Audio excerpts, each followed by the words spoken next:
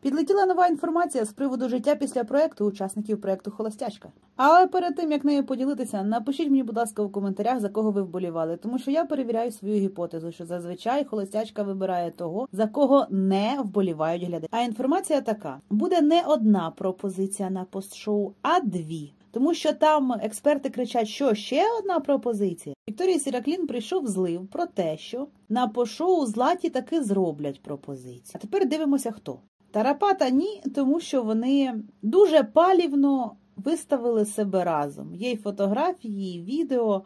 Якби вони дійсно були разом, вони б так не палились. На досвіді Мішиної Елерта, тим паче, що цей сезон такий гарячий і так нам підгливають інтригу, все так грамотно організовують, що навряд чи дозволили б їм спалити. Задворний ні, тому що навіщо йому вдруге робити пропозицію златі. Але разом вони з Латою не залишились, тому що коли був фінал холостячки, він дивився його не зі Златою, а з Владом Ясько. І навіть це виклали в сторію Влада Ясько. А Діма Шевченко після перегляду холостячки пішов з пацанами в караоке, ну з тими ж з холостячки, і теж не залишився зі Злата. Я думаю, Злата не залишилася з жодним з них. А другу пропозицію зробить Залівака. А ви мені напишіть у коментарях, за кого ви вболівали.